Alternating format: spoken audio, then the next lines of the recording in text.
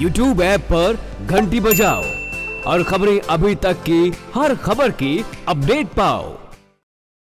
हरियाणा के परिवहन मंत्री कृष्णलाल पंवार ने मंगलौरा चेकपोस्ट पर अचानक से छापेमारी की।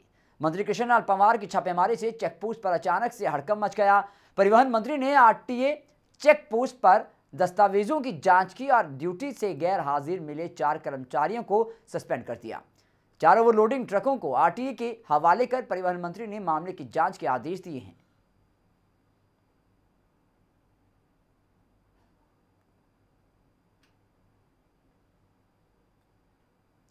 तो आपको बता दें कृष्णलाल पवार जो हैं, वो खुद पहुँचे चेकपोस्ट पर, औचक निरीक्षण किया और उनके औचक निरीक्षण से हड़कम मच गया और चार कर्मचारी जो थे, वो गैर हाजिर पाए गए, जिनको तुरंत प्रभाव से मंत्री जी की तरफ़ से सस्पेंड कर दिया गया है और साथ ही जो ओवरलोडेड वाहन वहाँ पर चेकपोस्ट पर खड़े थे, उनके चालान भी सामने कटवाए गए।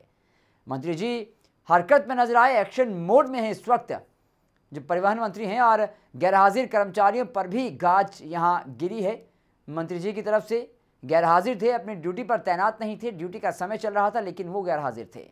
तो ऐसे में मंगलौरा चेक पोस्ट पर उन चारों कर्मचारियों की गैरहाजिरी ने उनको सस्पेंड करवा दिया और मंत्री जी हरकत में नज़र आए हैं। हो सकता है आने वाले दिनों में और भी ऐसी औचक निरीक्षण देखने को मिले, लेकिन अब कहीं ना कहीं सब सतर्क ज़रूर हो जाएँगे।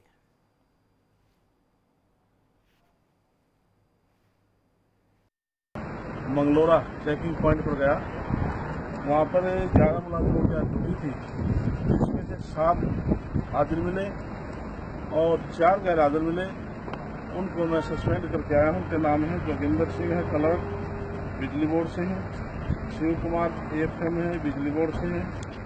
हमारे रमेश कुमार कलरक हैं डीआईटी से हैं। और एक हमारे राम कुमार ये ये डी ऑफ़िस से हैं। ये अबसेंट बने, इन चारों को सस्पेंड करके आया हूँ। और निर्देश दे के रहा कि कोई और लोग की गाड़ी किसी बगैर चेकिंग के निकल तो आपके खिलाफ भी हम कार्रवाई करेंगे।